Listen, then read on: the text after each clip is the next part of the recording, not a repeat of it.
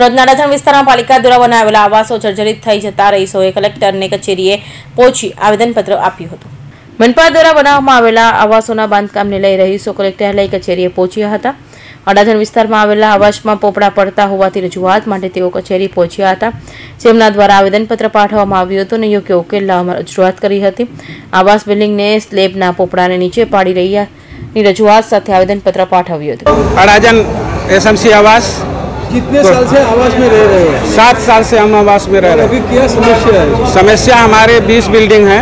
बीसों building के जो है कि वो पोपड़ा छोड़ के छत गिर रहे हैं। ऊपर से सब संडास बाथरूम कोई भी कायदे से नहीं सबका पानी एक दूसरे मार्ग पे गिरता है। अच्छा ये कितने दिन से ये समस्या ये समस्या हम लोग आए, दो साल से ही चालू हो गया, हम लोग रजुआत भी करें।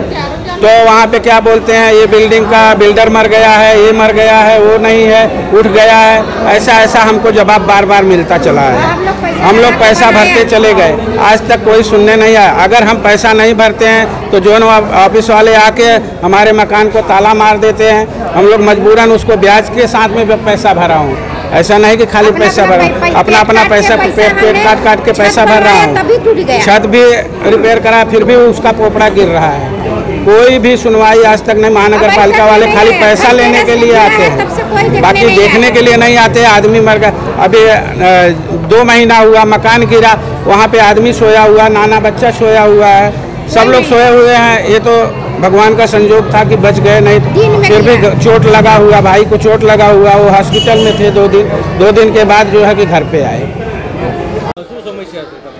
અમારા ત્યાં બધા પોપડા પડે છે ઘરના નાના નાના બાળકો હોય ક્યાં જવાના એ સમજી આવાસમાં રહે છે પછી આ લોકો નોટિસ આપે અમને તો ખાલી કરવાનું કે પછી નોટિસ આપીને પછી તમે જાય કે પૈસા લેવા તરત જ આવી જાય પૈસા લેવા માટે અમારા પાસે નાના નાના બાળકો ઘરમાં હોય અમે રાતના દિવસમાં કંઈ પડી જાય તો ક્યાં જવાના અમે અમારા પોતાના મકાન તોડીને અમને સમજી આવાસમાં નાખેલું છે. કઈ જગ્યાએ આવાસ ક્રોમાના પછાડી. એ સબ સ્ટાર બજારના ક્રોમાના પછાડી. કેટલા પરિવાર રહે છે બત્રીસ ઘર રહે છે. એક બિલ્ડિંગમાં વીસ બિલ્ડિંગ છે. એમાં બત્રીસ ઘર એક મકાનમાં બત્રીસ ઘર રહે છે. શું તમારી માંગણી છે સરકાર એ અમારી માંગણી એ છે કે અમારે બિલ્ડિંગ વ્યવસ્થિત કરી આપો. અમારે તોડીને આપેલું છે તો વ્યવસ્થિત કરીને આપો ને અમને પછી. નહીં તો અમારા ઝોપડા હારા હતા એના કરતા તો. એ મોદી આપેલા અમને કંઈ ફરક જ નહીં પડતો. કેમ કે એ પોપડા પડે છે. રાતના બે રાતના પડી જાય મરી જાય તો એનું જવાબદારી કોણ લેવાનું છે અમારી? કોઈ છે જવાબદાર લેવાનું તો અમે પછી કંઈ માંગણી નહીં કરે અમારી પૂરી.